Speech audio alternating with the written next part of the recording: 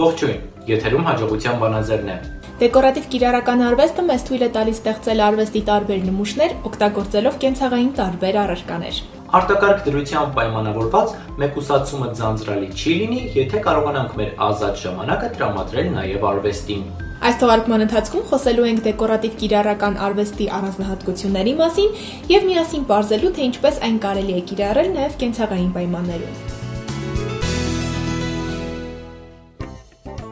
Հայկական կերպարվեստի հետաքրքիր բնագավառներից է դեկորատիվ կիրառական արվեստը։ Այն դեկորատիվ արվեստի եւ ժողովրդական ստեղծագործության նյութական եւ հոգեվոր արժեքների ստեղծող ոլորտ է։ Դեկորատիվ արվեստը սկզբնավորվել է հասարակության զարգացման վաղ շրջանում։ Դարերի ընթացքում այն կրել է տարբեր ոճերի եւ ուղղությունների ազդեցությունը։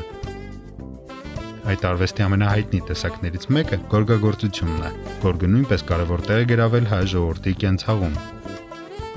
Հայաստանն ունեցել է գորգի ստեղծման համար անհրաժեշտ հումք, բուրդ, բնական ներկեր, տորոն, ворթանկարմիր եւ այլն։ Միջնադարում հայկական գորգերը մեծ համբավ ունեին համաշխարհային շուկայում։ Հայկական գորգերը աչք են ընկնում իրենց արտանախշերի հարստությամբ, ունեին հնչեղ արտահայտչությամբ, գործվածքի ներկությամբ։ Դրանց ընտիր օրինակները պահպանվում են աշխարհի խոշորագույն թանգարաններում։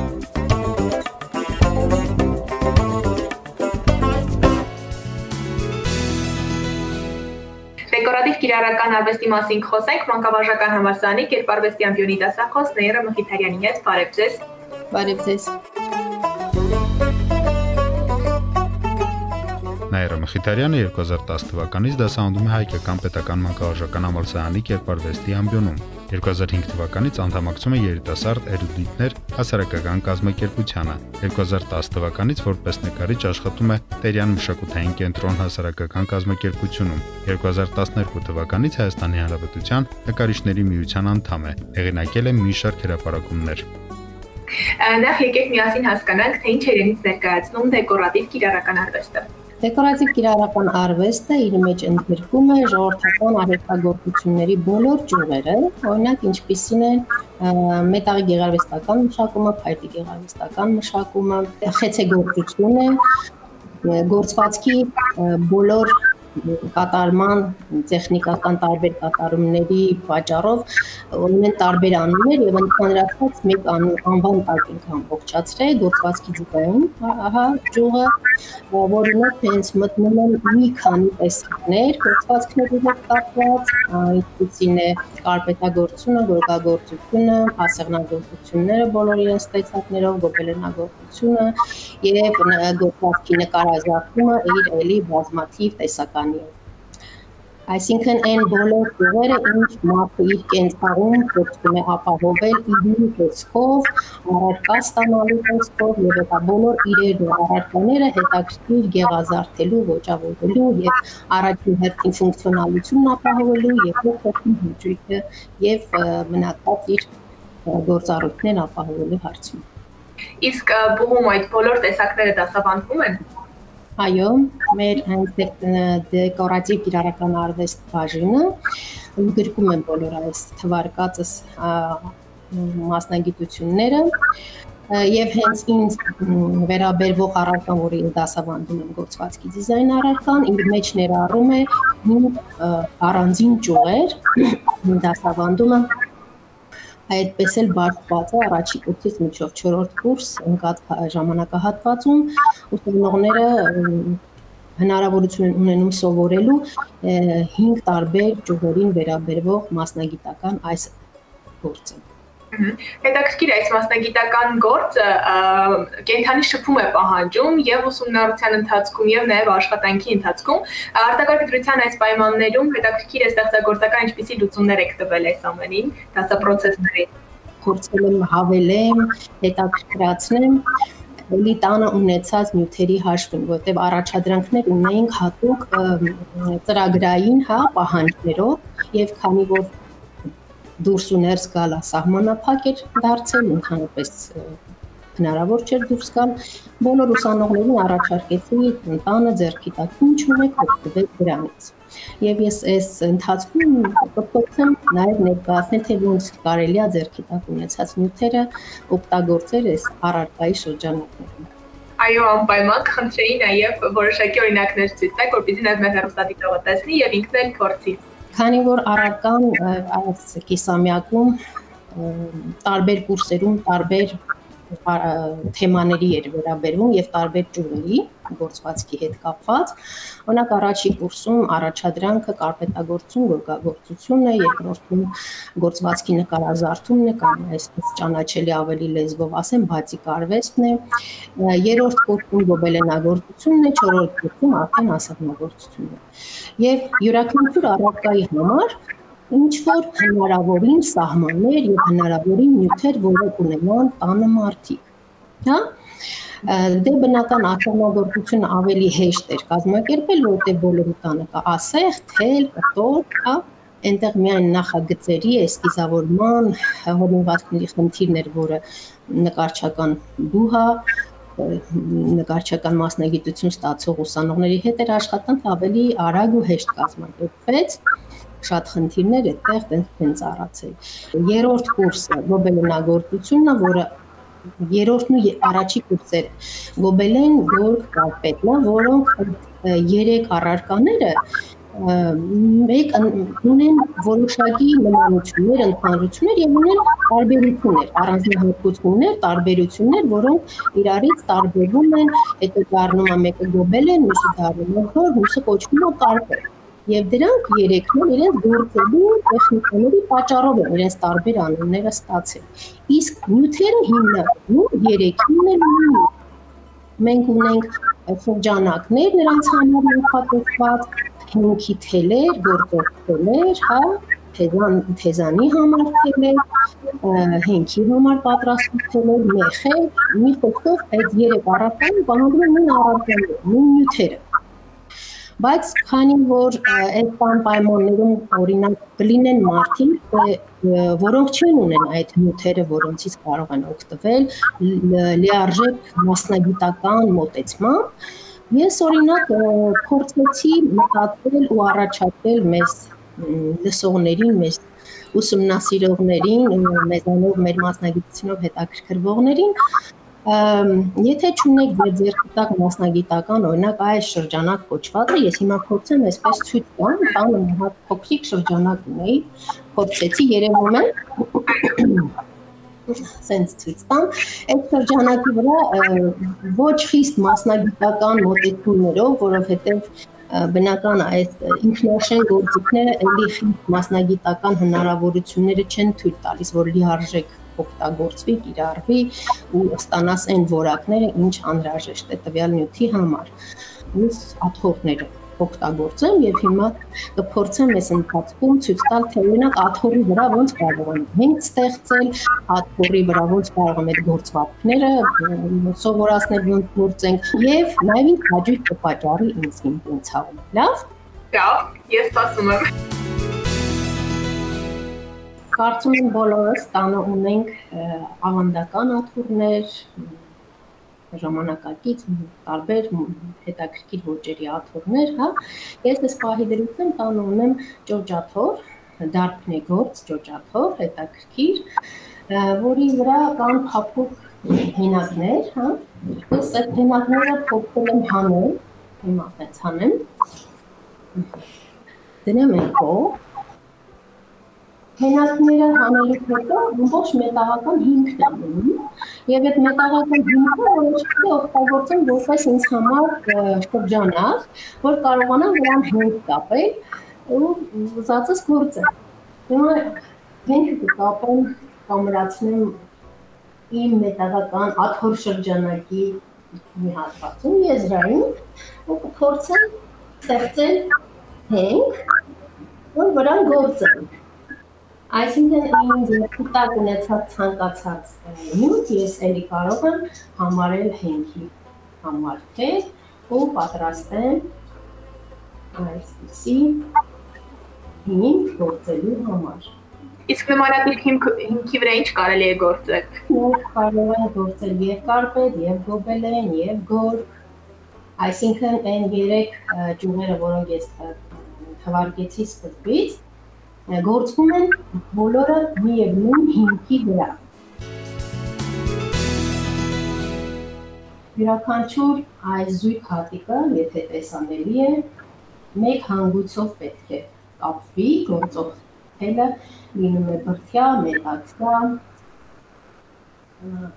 հանգույցիկների հաշվին մենք ստանում ենք խավ, խավածածկ մակերես, որն է հենց ապահովում է գորգի տեսքը, որը հենց դառնում է գորգ իսկ Դուբելենը եւ Կարպետը նրանց անխավ գործվածքներ են, նաև դրանց ասում են անխավ գորգեր, հա, բայց մասնագիտորեն երբ որ ճանաչում ես, ծանոթանում ես տեխնիկական կատարմանը, նախագծերի առանձնահատկություններին, արս հասկանալի է դառնում, թե որը ինչ գործվածք է եւ ինչ ջուրի է պատկանում։ Եվ ես այս ընթացքում դասավանդելուց բոլոր ուսանողներին շատ անգամներ խնդրում եմ, որ յուրաքանչյուր ասածս բառը նրանց համար լինի զանդ ականջներին, որովհետեւ այս մասնագիտությունը խորքային ավելի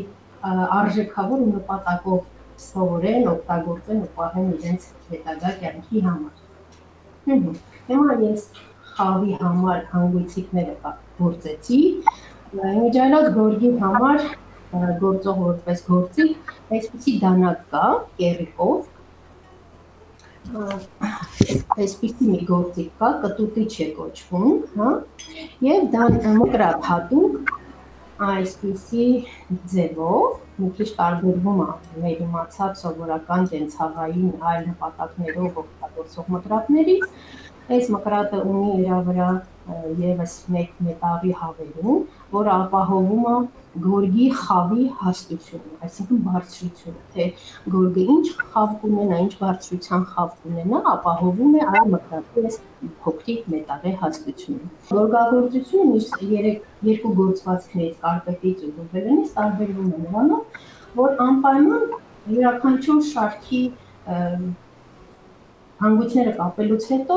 անպայման պետք է անցնել մեկ ու մեկ միջնաթելով հատուկ, որպիսի կապած յուրաքանչյուր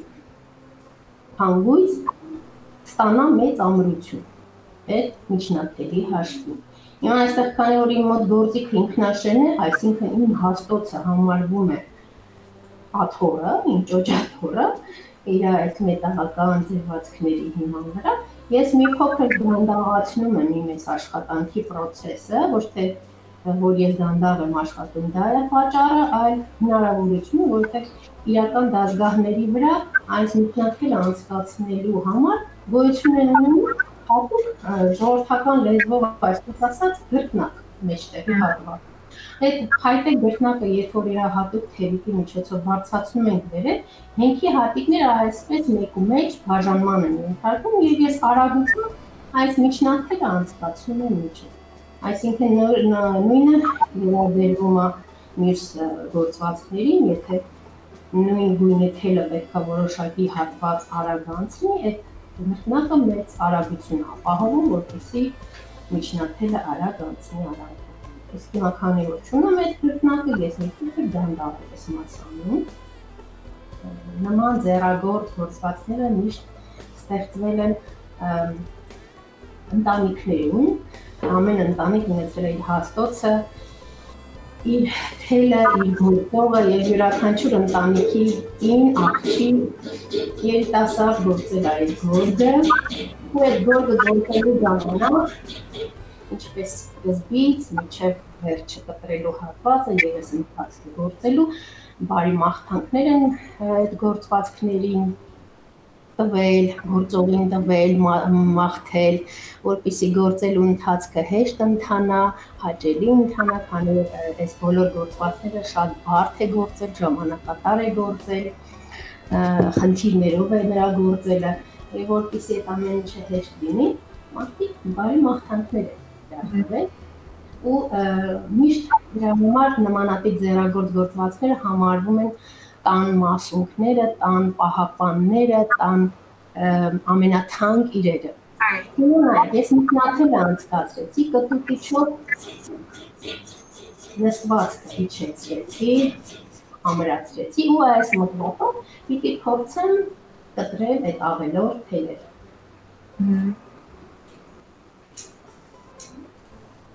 Հասեք, հիմա ինձ մոտ մոտավորապես 0.5 մմ բարձրությամբ խավ ստացվեց, որտեղ իմ մկրատը այդքան հաստություն ունի։ Հետո այդ արդեն երբ որ առաջի շարքի խավը պատրաստ է, գործում եմ երկրորդ շարքը, երրորդ շարքը նույնությամբ, ու այնքան մինչև կվերջանա իմ մտածած, նախագծած հետաքրքիր, ասենք թե գործվածքը։ Նա հին ժամանակներում գործվածքները կարծում են, դա իմ կարծիքն է, հաստացի ապացույցներ չեմ կարող բերել, որ բոլոր գորգերը գործվել են հենց գործողի մտահղացմամբ, զգացմունքներով, գաղափարներով, ցանկությամբ, որևէ նախնական նախագիծ չի ունեցել։ Դա շատ հին գորգերի մասին եմ ասում, հետո երևի հետագայում ստեղծվել է նախագիծ գաղափարը, այդ գիտելիքն է արդեն սկսել ինչ հիմա մենք օրինակ դասավանդում ենք մեր դասավանդման շրջանակներում գործվածքի այդ դիզայն առարկայի շրջանակում ես բոլոր թվարկածս ճյուղերի համար մեծ ուշադրություն եմ դարձնում ոչ միայն այս տեխնիկական կատարման վրա, որը օրինակ գորգի օրինակի վրա ես ցույց տվեցի, այլ հենց նախագծման գիտելիքի լիարժեք ընկալման վրա, որովհետև նրանք ամեն դեպքում ավարտելու են որպես նկարիչ նախագծողներ եւ ոչ թե վարպետներ հա, ասենք գորգագործ վարպետ, պատետագործ վարպետ կամ գոբելենագործ վարպետ, քանի որ հին ժամանակներից հայտնի է, որ հայտնի գոբելենները արդեն նկարիչների նկարած նկարների հիման վրա են գործվել օրինակ, հա այսինքն ոչ թե այստեղ խիստ ճիշտ ենք դնում վարպետության վրա, այլ նկարչական գիտելիքի վրա։ Այո, հենց կարծում հենց այդ գիտելիքներն են, որ ակադեմիական կրթության հիմքն են կազմում, կոնկրետ այդ ձեր մասնագիտության դեր մարդկանց համար։ Այո, որին ես շատ նշանակություն եմ տալի եւ արժևորում եմ ու պարտադրում եմ իմ սիրելի ուսանողներից, որ դա լիարժեք հասկանան որովհետև կարող ես լավ վարպետ լինել, բայց նախնական գիտելիքների պակաս կամ թերի ունենալու խնդիրը քրոմո օրինակ մասնագիտության մեջ արդեն լուրջ խոչընդոտներ հանդիսանում։ Եկեք նաև անցնենք հերավար կրթության եւ դասընթացների առանձնահատկություններին։ Ուսանողները հեշտ են ինտեգրվում ոչ կենթանի շփմանը եւ տարածության սահմանափակումներին։ Ասեմ, որ իմ առարկայի շրջանակներում ես չեմ ունեցել շատ խնդիրներ, միակ խնդիրը եղել է, որ տարբեր շրջաններում ապրող ուսանողներ ընդհանրապես ինտերնետային կապի խնդիր են ունեցել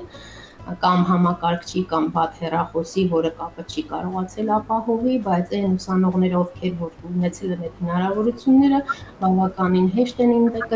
ինտեգրվել, սիրով են ինտեգրվել եւ ասեմ ավելին,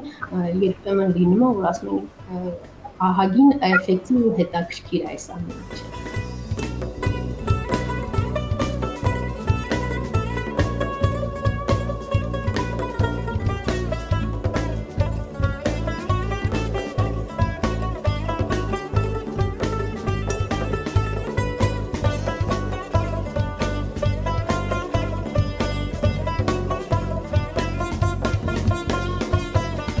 հիշեցնեմ մեր հերոստատիտողին, որ նրանք նույնպես կարող են հետևել մեր օրինակին,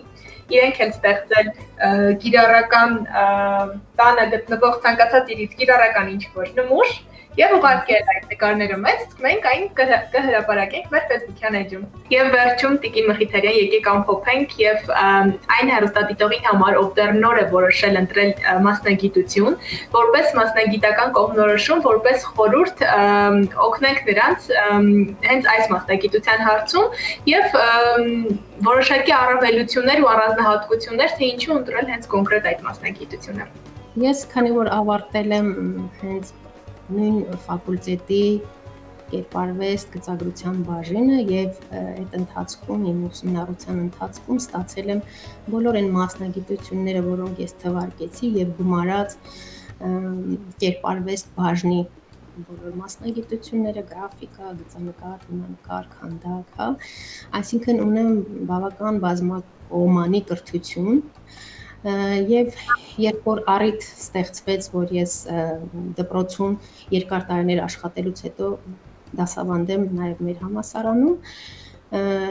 հասկացա այդ ժամանակ, որ զուր չի իմ ստացած կրթությունը մեր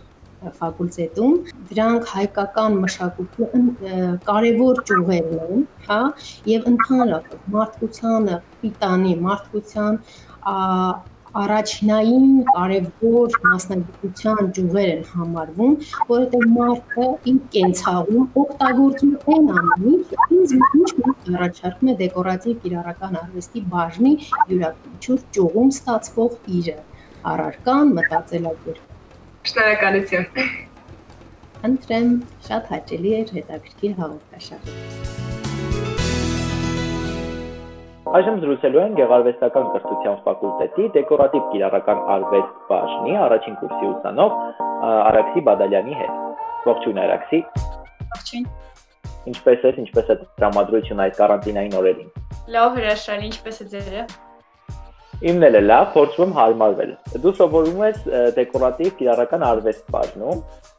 Բաժին ընդհանրապես ինչ է ներկայացում, դասերը ինչպես են անցնում, ինչ է կանում, մի փոքր դրա մասին խոսիր։ Մեր բաժինը ընդգրկում է տարբեր արվեստի ճյուղեր, որոնց մեջ մտնում է մետաղամշակումը, ոսկերչությունը, կարպետագործություն, գորգագործություն, դրանք ամբողջը մտնում է գործվածքի դիզայնի մեջ, ինչպես նաև մենք անցել ենք Զարթանախշի հորինված, Այդ առարկայում ենք անցել տարբեր ազգերի ժողովուրդների զարդանախշերը։ Զարդանախշի տեսակները ժապավենաձև, վարդնյակ, որոնք հետո շատ մեծ օգտակար են լինելու հետամշակման ու մետաղամշակման այլ արվեստի ճյուղերի մեջ։ Ինչպես նաև մասնագիտականից բացի անցնում ենք օտկար լեզու, մեր դրա մեջ մտնում է անգլերեն, ֆրանսերեն, ռուսերեն, գերմաներեն, հայոց լեզու, հայոց պատմություն, հոգեբանություն, բուժ առաջի բուժօգնություն Այ հետաքրքիր է այդ առարկաները, որոնք ասում եք, ինչքանով է նպաստում ձեր մասնագիտական զարգացման, օրինակ հայոց պատմությունը, հա? Ինչքանով է կարևոր կոնկրետ քո մասնագիտության համար։ Զարդանախշերի մեջ մենք անցենք տարբեր ազգերի զարդանախշեր, նրանց միջև եղած տարբերությունները, թե ինչով են հայկականից տարբերվում,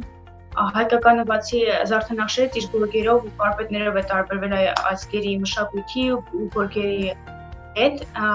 հենց առաջինը հայերեն օգտագործելու մեջ կրկնակի հանգույցը Արաքսի քո մասնագիտությունը ի տարբերություն մնացած ֆակուլտետների մասնագիտությունների ավելի հիմնված է պրակտիկ, հա, հմտությունների վրա, այսինքն գործել, կարել։ Հետաքրքիր է այս on-line տարբերակով դուք ինչպես եք կարողանում այդ դասերը անցկացնել եւ ինչպես եք կազմակերպում այդ գործընթացը։ Դասախոսը classroom-ով մեզ ուղարկում էր մի հարթակի հղումը, որոնց միանալով մենք կարողանում էինք տեսագրել մեր արած աշխատանքները ու աշխատանքի ընթացքը եւ հենց այդ գործը գործելու ընթացքում դասախոսը մեզ ուղղություններ տալի, ուղում մեր սխալները ու ասում թե ինչպես պետք է ավելի ճիշտ գործել։ Ինչ գործիքներով եք աշխատում տանը։ Գորգը ունի հատուկ գործիքներ, որոնցից է օրինակ դանակը։ Դանակը նախատեսված է հանգույց հանելու ու կտրելու համար, սակայն կան նաև այլ գործիքներ, որոնց մեջ մտնում է կտուտը կամ կտուտիչը, սաները, մկրատը, որոնք հատուկ նախատեսված են գործելու համար։ Սակայն կարանտինի պատճառով օգտագործում են տան եղած ծապրանքները, հենց հասարակ պատարակաղը, որը հանդես է գալիս որպես կտուցիչ։ Կտուցիչի ունի 10-ից 20 ատամիկներ, որոնք օգնում է լավ նստեցնել հենց այդ հանգույցները։ Այսինքն կարելի ասել, որ տան պայմաններում դուք հետ չեք մնում ձեր դասերից եւ կարողանում եք լինել այսպես ասած կրեատիվ, մտածող եւ գտնում եք ինչով կարելի է ստանալ դա շատ հետաքրքիր է հետագայում, հա, այս մասն այս բաժինը, այս բաժնում սովորելը կրթությունը ինչ է քեզ տալու եւ ինչպես է տեսնում քո ապագան հետագայում։ Դե առաջի կուրսում մենք անցնում ենք միայն պրակտիկաներից, կարպետն ու գորգագործություն, սակայն մնացած կուրսերում անցնում ենք անցնել ենք նաև հագուստի մոդելավորում, փիլիսոփայություն, մետաղամշակում, խեցեգործություն եւ հենց այս տարիների ընթացքում կարելի է որոշել թե որ ուղղությամբ կարելի է շարունակել։ Շնորհակալ եմ Արաքսի ջան հետաքրքիր զրույցի համար։ Եթե դուք ունեք հետեւյալ հատկանիշներից որևէ մեկը կամ գուցե բոլորը, ապա կարող եք ընտրել այս շատ հետաքրքիր եւ կարեւոր մասնակցություններից մեկը։ Արվեստի նպատակն է ոչ թե ներկայացնել իրերի արտաքին տեսքը, այլ ներկայացնել դրանց ներքին էությունը եւ կարեւորությունը։ Յուրաքանչյուրս ունենք հաջողության մեր բանաձևը, սակայն յուրաքանչյուր բանաձևի հիմքում նաև արվեստի բնակավարների հանդեպ հետաքրքրությունն է։ Հաջողության բանաձևի թիմը շարունակում է աշխատել տնից, հետևելով մնատանը կարգախոսին։ Դուք նույնպես մնացեք տանը եւ հետևեք մեկուսացման բոլոր կանոններին։ Առողջ եղեք։ Իսկ մենք կհանդիպենք հաջորդ շաբաթ։